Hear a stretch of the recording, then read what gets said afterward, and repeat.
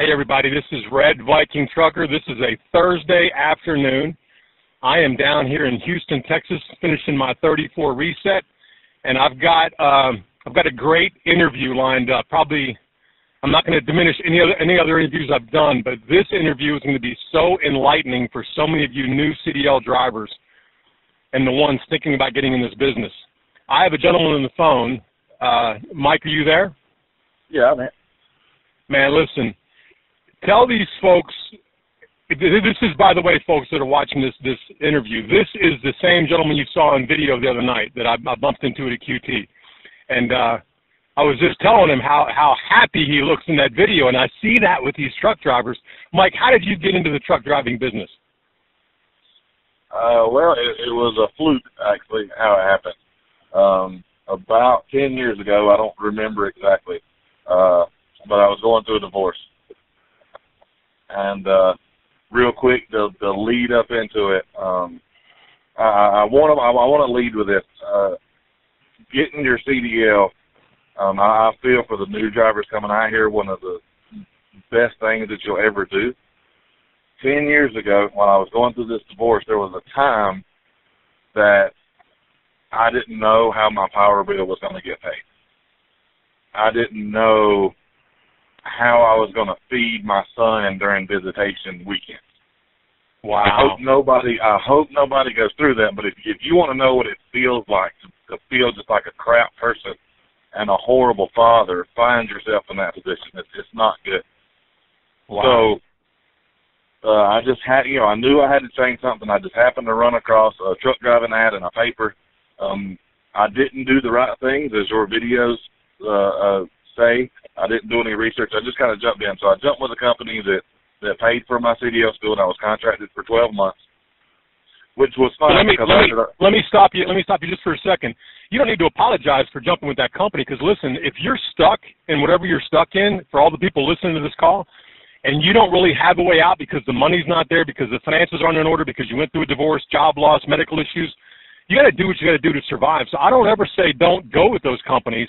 You Right. did what you had to do to survive. You did what you did, had to do to survive, and you survived. But go ahead. But that's, there's no Oh, oh. shame in that, brother. No shame at all. You were taking care of business. Oh, oh c- completely, completely agree with that. Completely agree with that. But Yeah. if you have the option, it's better to do that. But but it, like I say, it worked out fine. I was with that company for almost three years, so so it was fine. Um, but move, moving forward, you know that happened to me ten years ago. I, I drove a truck uh, for a while, and then I actually went to the dispatching side. But I never let my CDL go. I always kept my Wow. DOT physical. You know, I always went back. So a few months ago, when some things happened, not necessarily bad, but just some situations, there was a decision to make, and I decided to go back into a truck.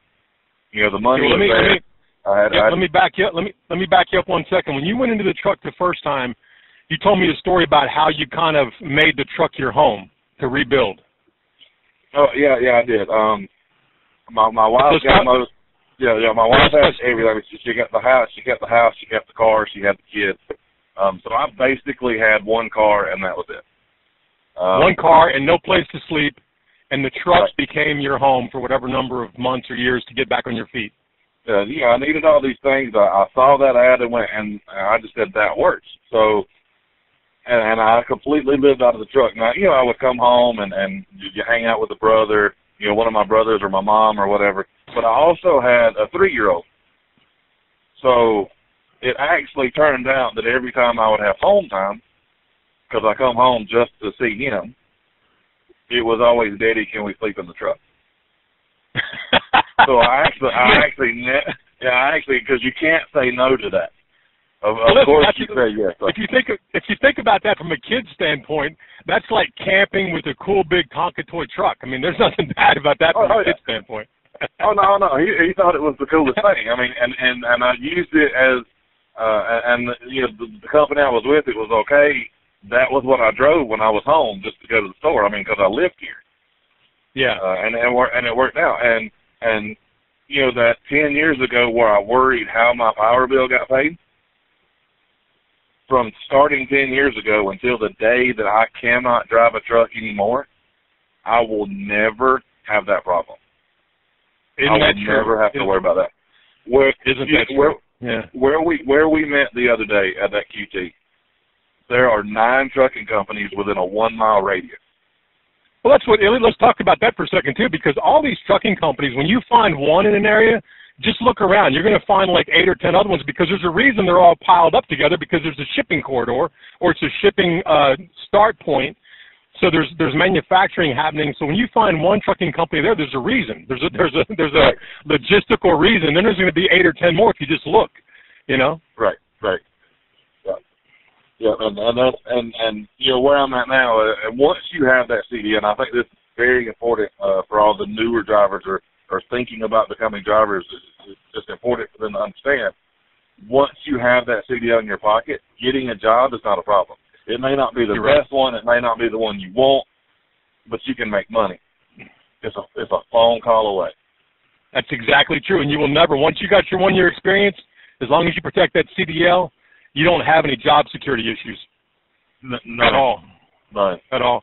Well, let's do this. Let's talk for a little bit, Mike, because the, the probably the the most juicy part of this conversation, this interview, is going to be picking your brain about what you saw and what you learned being a dispatcher, being on that side of the table, versus the guys that are in the trucks and girls that are in the trucks, you know, that that don't ever see that side of the business. I think it'd be a great idea for any company to put a, the new dispatcher in a truck for a day or two and put a new driver in dispatch for a day or two, so they could understand what each, what each other sees. But what was the biggest things you saw? Oh yeah, that that is a great idea, and we actually did that. Uh, uh, and and and I want everybody to understand that this is from my experience. Every company does their load planning, dispatching slightly different. Um, and actually, I got into it. Um, I went. Uh, I come off the road, went local. Our dispatch uh, office was very short on help. Uh, they knew I had um, some education background, so they were like, "Hey, do you want to do this?" I'm like, "Sure, I'll give it a shot." Uh, I ended up working through becoming dispatch supervisor, and my eyes were open. It, it's completely different on the other side. Um, and, and try, try to try to focus try to focus on the top This- three biggest things you saw. this is especially important for the new drivers that are probably going to go with these really big companies. What first thing you have to accept is you are a number, you're not a person. You hear that a lot when you're out there. Part of that you have to understand that's the way it is. When you're looking at a company that has 2,000 plus drivers, they they can't remember everybody. They just can't. So the first Well, thing you let me let me ask you let me ask you this regarding that because this is important for me because I've I've always assumed this was the case. When I call into dispatch, the very first thing I say is you know my truck number. I don't say hello, good morning, good afternoon. I just say my truck number, and then they pull they pull your truck number up on the screen. What information do they see your name? Does your name pop up on the screen when they pull your truck up?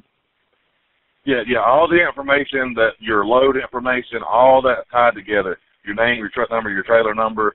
Um, usually they have your hours of service. If you're on e-log, um, all, all, I mean, your almost entire profile pulls up.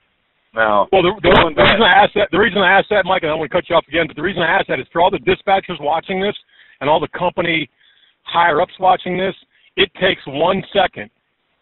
And I have quite a few dispatchers in my company that the first thing they do is when they pull my my truck number up, they say my name and say, "What can I what can I help you with?"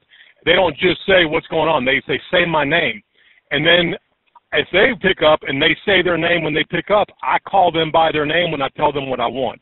Let's say the name is Johnny. I'll say, I'll give them my truck number. They give them a second to pull everything up, and they'll they'll say, "What do you need?" And they'll say my name. I'll say Johnny. I'll give them their name back because you know what? Even though we're a number, that little small thing, man, where you recognize there's a human being on both sides of that line, because we all get stressed for whatever reason. That's important, I think. And I know you say it's all you're all a number, but it just takes another second to make that connection. no, no, I completely agree. And I was going to re- reference that. You made a video where you talked about that. Absolutely, and, yeah. and and that is you know you're the number on on you know from the get go. The you know the turnover rate's high and drivers come and go. They're not going to remember you unless you give them a reason to.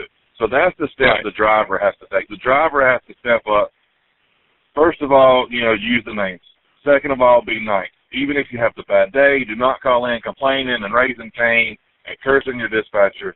That's not. Oh, you get you nowhere. I, I, get nowhere, man. I you promise. get nowhere with that. Yeah. you know, be, be nice, use the names, become the person. If uh, the the large company I was with um, was based in Arkansas, uh, if you figured it out, that's great. Um, but I would always go by our home terminal when I was through through town. Yeah. Would go by, see my dispatcher, put a face with the name. He ended up taking me out to lunch many times. And like I say, we're talking a company that has over 2,000 drivers. Three years after I left that company, he called me from his cell phone because they needed drivers. He remembered exactly who I was, talked to me like we were buddies, wanting to know, you know, yeah, and of course he was just trying to get me to come back to the company, but he Sure. remembered who I was because I took Yeah. the extra steps to not just be a number. Yeah. Yeah. Yep. So I believe that. now, now, now, now, granted, that doesn't always help you. The second thing I wanted to touch on is drivers have to understand that the dispatcher doesn't answer to the driver. The dispatcher has a boss that is going to chew his tail if he doesn't do his job. So when decisions are made based on loads and what loads you get, mm-hmm. that, that's that's in a company's best interest decision, not a driver's best interest decision. So if those two happen to line up, that's great. But don't think that somebody's just picking on you or they don't like you and or, or whatever the case may be when you got a bad load or you didn't get as many miles as you want. That was a company decision because the company has customers to make happy. Okay, let me ask you this about that's a very good point. Let me ask you this about that. So what you're telling me, because again, I'm only I'm only a puppy in tall grass compared to you, because you've been in the business over ten years. So what you're telling me is these loads are not specifically assigned to a driver based on whether the dispatcher likes him or doesn't like him. It's kind of a they they get the they get the load and then the, I'm I'm believing at least the computer looks at who has the hours, who has the time to get there based on the drop time, and the computer kind of assigns some of that. I'm believing. Is that true?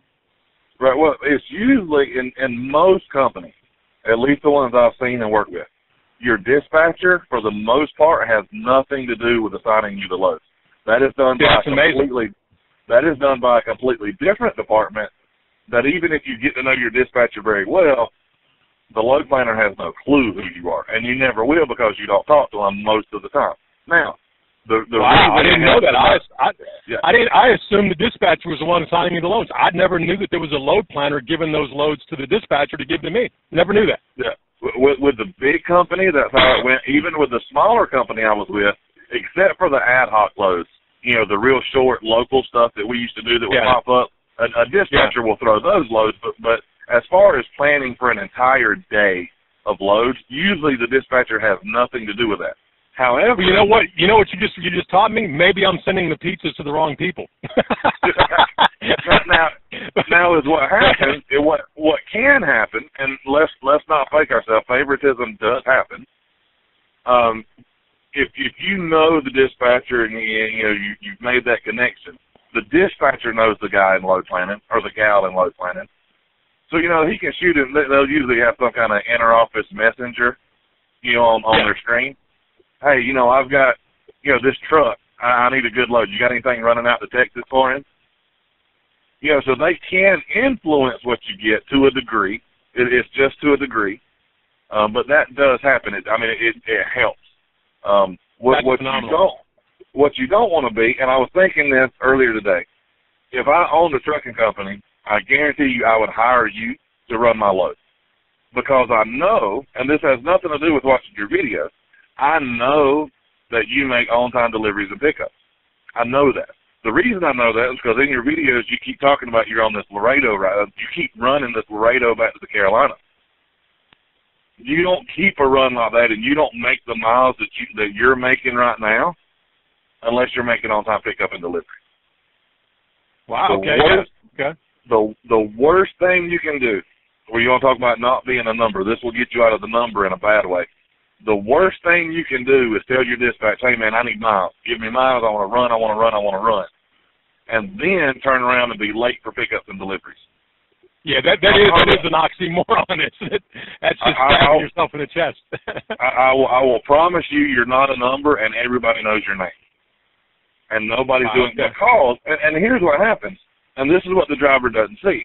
That load could have been a hot load, so the guy that did you the favor to try to get you on that because you asked Yeah. for it. He's in an operations meeting getting his tail chewed out because the customer called chewing his tail out, you know, the trickle down effect. He's never going to do you another favor because you just made him look bad and got his tail chewed out by the owner in an operations meeting. That's a good point. Good point. Now, let's do this. We're getting to the 15 minute point, and I try to keep my videos around that. Let's let's try to.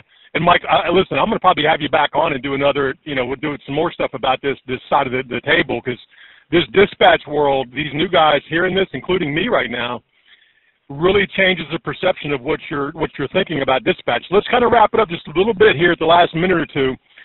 Tell me now, you you got back in a truck. What are the things you would tell these new drivers about coming out here? What would you tell uh, your cousin if they were thinking about coming into business? Let's kind of wrap up with one or two points about your best tips after 10 years out here. What would you tell people? All right. Uh, one, watch your videos. You actually have a really good grasp of what's going on. Um, I did not pay him to say that, by the way. I, I, I wish you were around when I started. It, it would have helped. Um, the I, I want to make this clear. Guys like me that's been out here a while, we we have good tips, you know, and and I, mean, I still I'm learning every day. Don't ever think you know everything because you don't. But don't ever let a more experienced driver tell you what you should be doing in the overall picture. And I'm not talking about how to tarp loads or how to, you know, scale your truck. No, there's right and wrong way to do that. I'm talking about whether you should team drive or solo drive or regional drive or OTR. Once you get got to make that, you got to make you got to make your own decision, is what you're saying. Right, right. Once you get that time in, you know, once you get that experience, Mark, you know, when you got your experience, this isn't a one-dimensional business. There's not a right and wrong way to do this. You have Right. to do it for your own reason. I don't. I could make more money running full over the road, but I run Monday through Friday and I'm home every weekend. That Yeah, that's yeah. what's important. That's what's important to me, and I make Sure, enough sure. money doing that. Yeah, so it's just one of those. Is you know, get in it. There's a lot to learn. So so don't take one person's opinion going, hey, this is the way to do this, because a lot of people will try to do that. Yeah, that's why I put that. That's why I put that that that personality profile up too, because if you look at who you really are from your personality answers that you answer truthfully about yourself, that will give you almost the blueprint and the and the roadmap to how you should be driving a truck. Whether you're driving team, whether you're driving solo, whether you're home every weekend or home every four weeks, that's that your personality is, is who you are. If you try to go against that, you're going to create all this subconscious stress on yourself. You don't even know why it's there, and it just builds up and builds up, and then you're going to be that person that snaps at dispatch, but it really has nothing to do with dispatch. You're mad at yourself and mad at the the, the fact you chose the wrong type of driving, but you don't want to own that choice. Right, right. That is that is completely true. I've I've worked with with drivers that have done that. They you know they were they were running staying out all week. They become local drivers, and and and their their attitude and personality is like it changed overnight because that's what Yeah. they really want to do. Their their home every night was more important than making a little more money. So Right. And then they realize they made a mistake. Yeah. Well, listen, let's do this too, Mike. We're getting almost. We're almost at 20 minutes, brother. And listen, you've been invaluable on this call. I want to thank you for taking your time on your because you're in the middle of a run. You pulled over and had a 30 minute DOT. I appreciate you taking the time to do this call, man. We're probably going to be doing another video with Mike, another uh, interview. So you guys stay tuned. Mike, I'm going to go ahead and end the call here, brother, because we're getting close to 20 minutes. I want to thank you again for your time. Folks, if you're watching these interviews and watching the channel, please support the channel. Download our car buyer and car leaser app, Car Czar Pro. You can find it on iTunes and Google Play, or you can just download from the, uh, the, the website below. And do me a favor, if you like the channel and want more interviews like this from guys like Mike who can teach you and save you the, the mistakes and the errors, please subscribe, like, comment, and share. You can reach me at the email address above or the phone number below. If, if you reach me at the phone number below, always text me first. Mike, I want to thank you so much for taking the time this afternoon to be on this call. oh, I, it's my pleasure. We'll have to do it again. There's there's much more to cover. I know there is, brother. I know there is. Have a safe rest of your trip, and thank you again. Red Viking Trucker is out because none of us get out of here alive. Make your move. Thanks, Mike. Good know.